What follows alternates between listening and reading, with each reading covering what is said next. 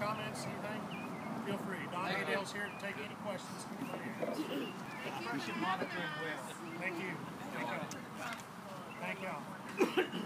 Den- Den- Dennis got a question. Yes, sir. Pressure monitoring well for pools for the four A's front yard.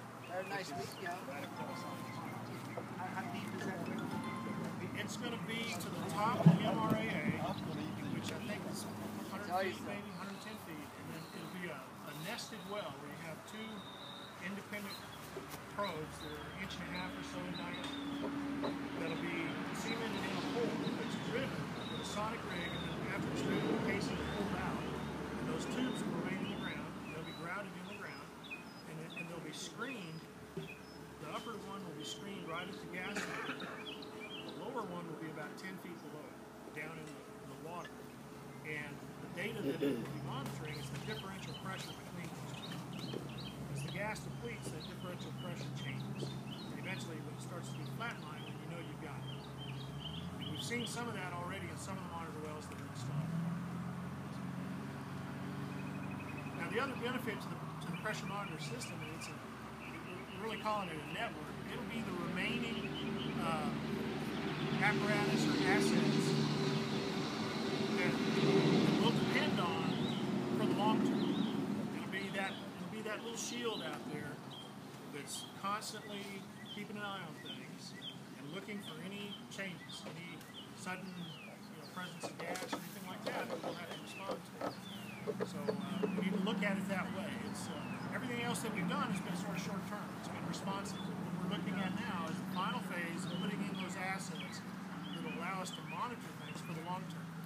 We all know about the seismic network. It's doing a fantastic job. We're, we're working right now on bringing two different parties together to agree on how we're going to define certain codes.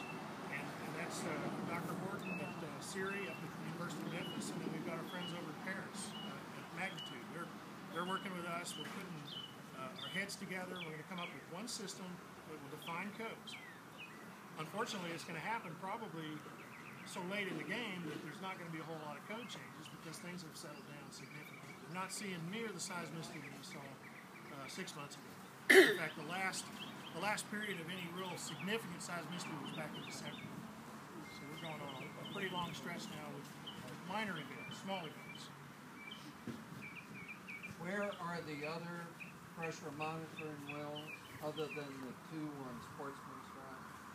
Uh, Paul, can you help? Um, Harold? Harold knows 18 nurses on the other side, six, 16. Oh, they already exist. They are oh, exist. About the new ones. Uh, there will be one, one other new one down by the, on, on our property down by, uh, Rock Production Well Number Nine, between nine and ten. All right, okay. And there'll be one between RW fifty and fifty-five on this side of, uh, Okay, so it's the other side of it because fifties on this side. Right, but it'll be between Oh, oh, okay, okay, I see. uh, So in other words, you're trying to bracket the area. Jag får mix av this because of the ethics thing. Huh? And this one up here is keeping an eye out on this well over here.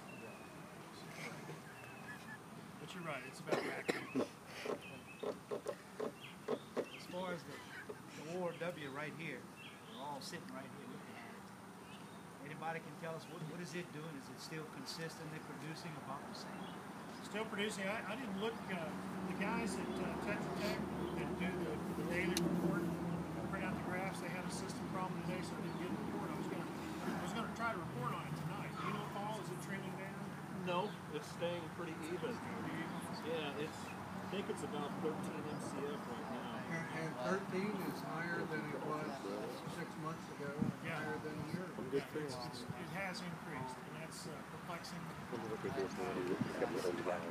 guess you could theorize that by having these lower wells, 55, and others that would be installed, rocket yeah, that's lowering the pressure on the gas to you over here, preferentially, I don't know.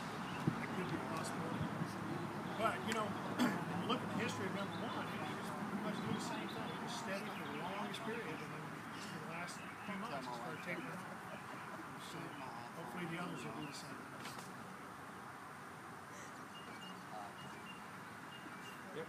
Yep, 13.45. How, how how about the property north of, uh, Highway seven?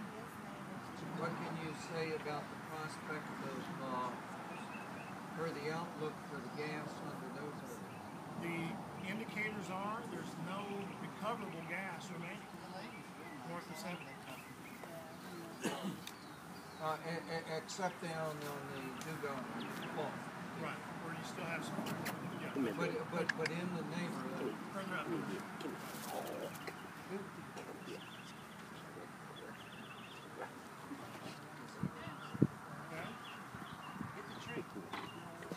Okay.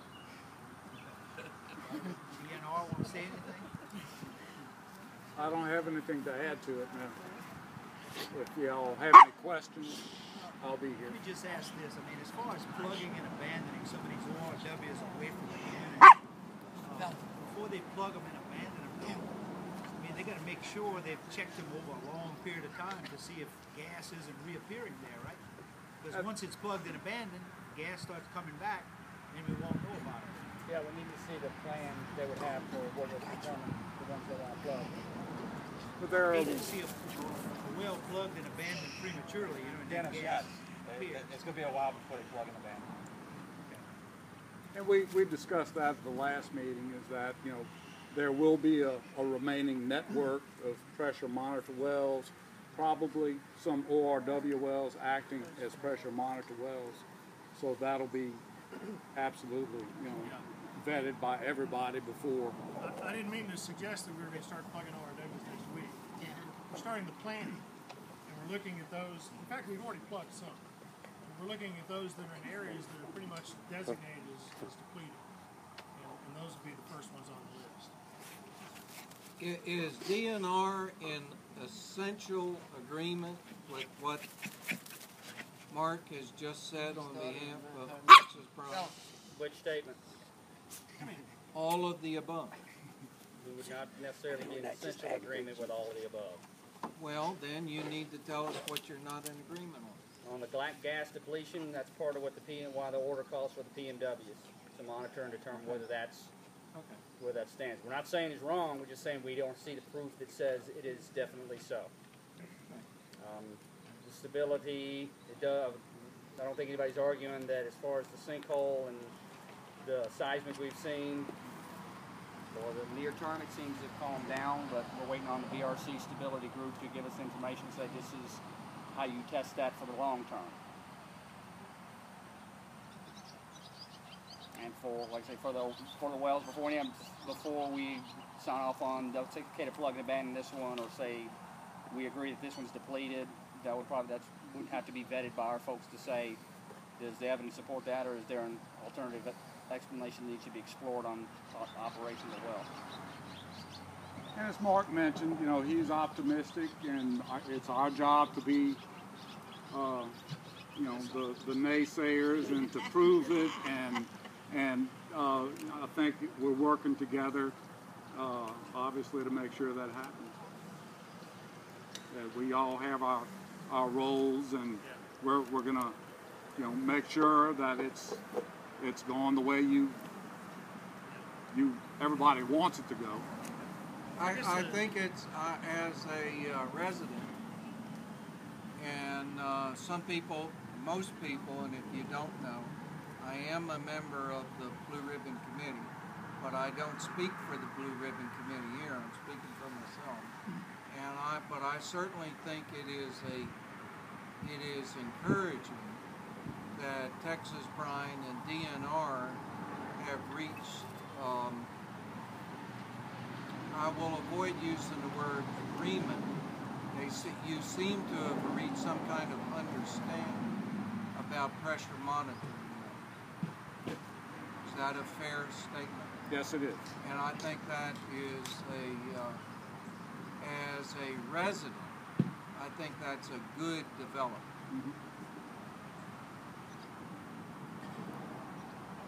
I, I'll just add a couple more things in response to what Patrick said. I didn't mean to suggest that, that it's universally agreed, uh, but there have been observations, remarks, uh, by some of your experts that acknowledge that we have depleted gas in certain areas. And I think the uh, final phase of uh, number one was very telling uh, because most of us expected that if there was recharge occurring, it would most certainly be coming up the rock zone below the sinkhole. And, a relief well that close would probably be uh, one of the perpetual uh, producers. So that was a good sign. Um, should note that about 80, maybe 85% of the gas that we're producing right now is coming from right under our feet, this area right here. And as you all know, after we did the CPT program, we identified this as the, the main location. So, uh, said, it, it's, uh, it's still troubling, but I, I'm optimistic, and I believe that given enough time, we're going to see the same thing with these wells that we saw with number one. Does DNR have the same optimism in Texas Finance? I mean, Eventually, overall, that eventually it's going to get there. Yeah, we might be, we might not be as sold on the a shorter time frame as they might be always, but it's not like we're saying it can't be done. No, the reason we're here is to get the gas out from under here as much as as much as it can be done. But as from as a regulator, we can't just we need to see the plans, go through the plans for how it's to be done, and understand that it's safe and everything's been done to make sure it's effective. And we've had surprises out here before. That's that's one we want to guard against being too quick to say to to say you know, this part or that part's all done and all good. We've seen the situation change. We want to make sure that's why we that's why the BRC was put together to begin with to get the best science on it we could.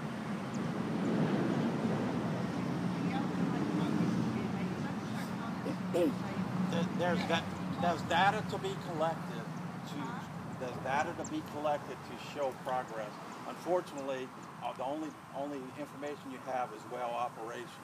They, they're, they have indicated they're gonna start CPTing again and so forth. And once that data is collected and, and compared, then you can actually make those statements. But right now, you don't have that information. when will that be done? Uh, they, they are providing plans by next week and, uh, and there's gonna be a vetting process and, uh, Mark, I, I don't know if you have a better timeline, but, uh, they indicated a couple of months, but Yeah, we, maybe, we expect to be starting the uh, pressure monitor well process uh, by May 5th, and our expectation is to have it installed by the end of May. So you're saying they need to get these new wells installed and data collected before you can actually say if there really has been any significant progress from eighteen months ago to now? As far as depletion of gas, that's the that's the thing is we don't know whether an area that had gas before and doesn't now is depleted because the gas there's this finite amount of gas and it's all gone and is in a shrinking area, or the pathway just changed because the subsurface over here has been changing markedly over the past 18 months. That's what the pressure monitoring wells and things like that are supposed to do is to say, do we see a difference over space because of